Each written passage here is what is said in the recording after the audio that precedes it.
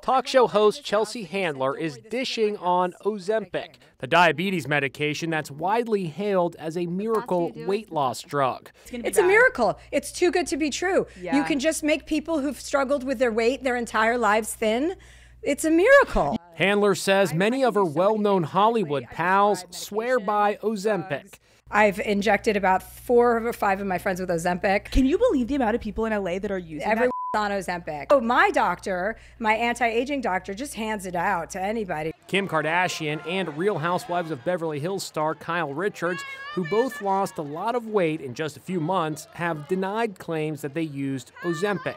Other women are taking to TikTok in droves, touting their Ozempic weight loss stories. This lady says she lost 20 pounds, and look at this woman's remarkable transformation. But Ozempic is not approved as a weight loss drug. It's prescribed for diabetes patients to bring down their blood sugar, and there are serious potential side effects, including nausea, inflammation of the pancreas, and kidney failure.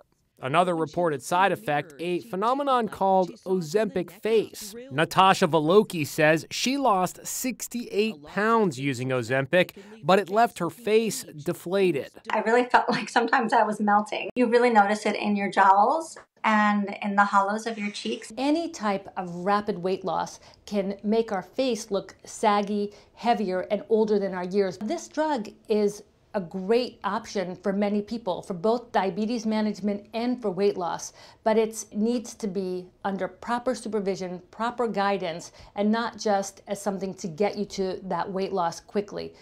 The manufacturer of Ozempic tells us it does not suggest or encourage off label use of its medicines.